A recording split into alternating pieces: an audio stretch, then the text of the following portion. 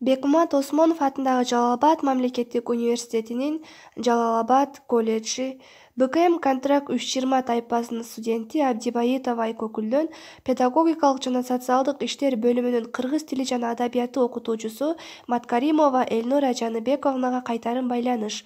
Тема кубанычбек маликов. Балбай поэмасы кубанычбек маликов бир миң тогуз жүз он биринчи жылы он алтынчы сентябрда чүй өрөөнүндөгү азыркы ысык ата районуна караштуу үч эмчек айылында туулган. Атасы иманалынын жети баласы болгон бирок төрт баласы өлүп кубанычбек менен дагы эки кызы гана чоңоет. Турмуш шартына байланыштуу болочок акындын үй бүлөсү борбор калаага жакын төкөлөш айылына көчүп келет кубанычбек маликов калемди эрте колуна алган. Он беш жашында эле эркин тоо гезитинин өз кабарчысы болот. Ал күнүмдүк жаңылыктар менен катар аялдардын теңдиги эскиден калган терс көрүнүштөргө каршы күрөш жер суу реформасы сыяктуу социалдык терең маанилүү темаларга түрдүү макалаларды жазат. Ал эми алгачкы жазгы талаа аттуу ырын бир миң тогуз жүз жыйырма алтынчы жылы жараткан. Ошол мезгилден баштап өмүрүнүн акырына чейин түрдүү жанрдагы ырларды поэмаларды кара сөз менен жазылган чыгармаларды жараткан. Ак кептер айоо келген жок аттуу элдик болуп калган обондуу ырлардын да сөзү маликовдун калемине таандык. Балбай баатыр көл айланасындагы бугу уруусунан чыккан эшкожо деген өз чарбасы менен жан сактаган бүркүтчү момун пенденин уулу болгон. Балбайдын өмүрү негизинен ат үстүндө өз урук-туугандарынын ар-намысы башкаларга көз каранды болбой жашашы үчүн тынымсыз күрөштө өткөн. Ал ошол кызматы үчүн баатыр аталган. Анткени балбай жашаган коом али уруулар арасындагы биринчилик үчүн күрөштүн күчөп турган учуру.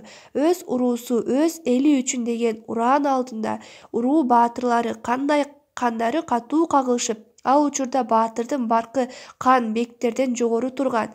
Муну менен кадыр барк өсүп эрдик иштери эл арасында даңазаланган анын авторитети менен сыймыктанып элесин түбөлүк эсте туткусу келген көпчүлүктүн көзүндө балбай эпикалык баатырдай эле элес берген.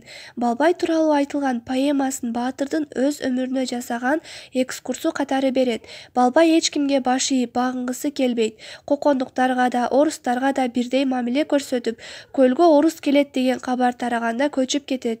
Өзү теңдүү баатырлар менен бирдикте калыстыктан тайган манап бек кандар менен кармашып казак калмак уйгурларга намыс бербеген.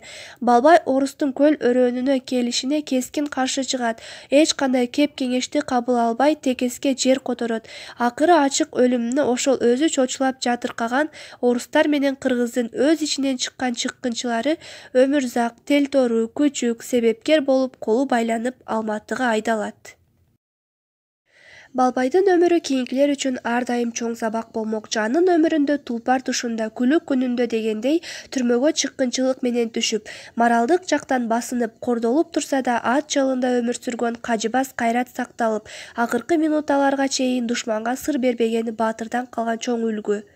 Шартка байланыштуу аралыктан окутуудагы кураторум маткаримова элнура жаныбековнага терең ыраазычылык билдирем